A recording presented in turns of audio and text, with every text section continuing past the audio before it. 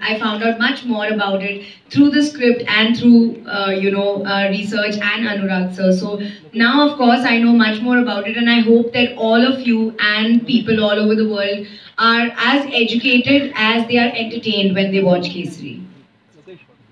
अक्षय सिन्हा कोमल शर्मा सहारा समिति अ, सबसे पहले तो कि अ, आपको मुबारकबाद देना चाहेंगे क्योंकि फिल्म के प्रोमो और गाने को देखकर जैसा प्राउड फील होना चाहिए वैसा फील कर पा रहे हैं मेरे दो सवाल हैं। एक सवाल ये कि जिस पर फ़िल्म का टाइटल बना है कैसे? उसको बांधने के लिए करीबन 35 से 40 मिनट लगते हैं पूरा रेडी होने के लिए। आ, ये जैसे परिणति कहते हैं ये पहली फ़िल्म है जहाँ हीरो ज़्यादा वक्त लेता है हीरोइन कम टाइम लेती है। और, और दूसरा प्रश्न आपका? दूसरा सवाल मेरा ये है कि आप जिस तरह की फ़िल्में कर रहे हैं जैसे बेबी और खासतौर से ये केसरी इसमें फिटनेस का बहुत ध्यान रखना पड़ता है बहुत तैयारियाँ बहुत प्रिपरेशन करना पड़ता है एक एक्टर जो है उसको। तो इसके लिए कितनी फिटनेस पे आपने कैसे ध्यान रखा और किस तरह की तैयारियाँ करनी? फिटनेस वैसा ही हूँ जैसे अगर ये फ़िल्म नहीं भी हो रही होती तो भी मैं वैसा ही रहता। ऐसा नहीं है कि केसरी शुरू हो रही है तो भैया फिटनेस के मटेरियल कहाँ से मिला होगा? उस टाइम के लिए अगर पीरियड ड्रामा है और अक्षय सर के लिए भी यही सवाल है मेरा कि दोनों कैरेक्टर्स के जो रेफरेंसेस हैं उनका मैनरिज्म क्या रहा होगा वो किस तरह बात करते थे ये सब इमेजिनेशन पे बेस्ड है या उसके लिए कुछ फैमिली डाटा फैक्ट कुछ मिला? नहीं जी ए, ए, मेरा जो रोल है इन्होंने जो लिखा है वो एकदम मतलब जितना भी कुछ अ, मिला उसके हिसाब से अपना इमेजिनेशन करके तरीका लिया हुआ ज़रूरी नहीं है कि जैसा मैं बोलता हूँ वैसा उन्होंने बोला होगा। जी आई थिंक ऑफ़ कोर्स हमें पता है कि ये ट्रू स्टोरी है तो इसमें काफ़ी फैक्ट्स हैं, लेकिन ऑब्वियसली एक तीन घंटे की पिक्चर बनाने के लिए जो ड्रामेटाइज ड्रामेटाइजेशन की ज़रूरत होती है, वो भी है। तो जब आप पिक्चर देखें तो आप ये, आपको पता होना चाहिए कि there are there is a lot of true story the characters are true the battle is true many things are true but there are some things of course for the sake of film that we have dramatize so that you all are also entertain when you watch the film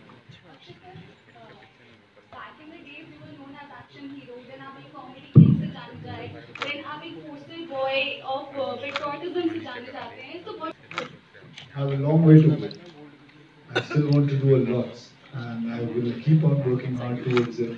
I don't want to stop at one point or have one kind of an image. I have many, many images to still um, discover, and uh, and I have lots of time with myself for doing that. Hello, sir. I would like to add to this.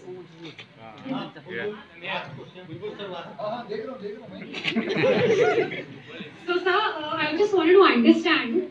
Uh, we are seeing a lot of movies which are uh, made on social issues, are carrying social, socially driven messages. और आपकी कुछ पिक्चरें uh, पहले वाली उसमें हम आप उसमें हम आपको काफ़ी हिस्टोरिकल मूवीज़ में भी हमने आपको देखा जैसे सर गोल्ड बनी थी उससे पहले पैडमैन थी सोशली ड्रिवन मूवी तो सर आपको नहीं लगता कि maybe you feel slightly anxious about being maybe typecast into a certain sort of cinema. अभी वो कह रहे थे इतनी इमेज आप कह रहे हो sir अभी recently I'm just talking about the very नहीं recent. मैडम ऐसा नहीं है ऐसा नहीं है। आ, अभी मैंने हाउसफुल की है अभी वो आएगी। इधर देखो ना अभी आप हो उसके so sorry ऊपर। sir I'm या। सो मैम ऐसा नहीं है कि अभी मैंने हाउसफुल फोर आएगी मेरी। उसके बाद एक फिर उधर देखना sir mic मांग रहे हैं I'm so sorry तो हूँ? दे। दे दे दो पहले दे दे। दो पहले उस पर उस परेशान आत्मा को दे दो। दे दो मैम माइक दे दो। अच्छा एक और फिर ये देखो। तो मैम ऐसा है कि मैं भी भूल गया। है? हाँ हाउसफुल आ रही है। फिर एक हॉरर कॉमेडी कर रहा हूँ। फिर अलग अलग किस्म की फ़िल्में कर रहा हूँ। अभी सूर्यवंशी भी आएगी। तो बहुत सारी फ़िल्में ऐसा ऐसा ना करे जुल्म मुझ पर कि एक टाइप पास ना करे। मैं अलग किस्म की फ़िल्में करना चाहता हूँ मौका दीजिए। Also Karan sir has said that you know Kesari wouldn't have been made if you wouldn't have accepted the offer. So how do you feel about the kind of trust the producer puts into you? But that is the that is वो आपकी ज़िंदगी की कमाई है कि producer को आपके ऊपर ट्रस्ट रहता है। So that I really feel honoured when ज़्यादा इमोशनल रहा Uh, अभी तो दो तीन दिन के अंदर रिलीज़ हो जाएगी आप देख लेना। But it, it's, it's been a very important and a very emotional journey for me. And I'm sure with everybody who's been a part of this film. And uh, even it's going to be emotional for people who are going to be watching it.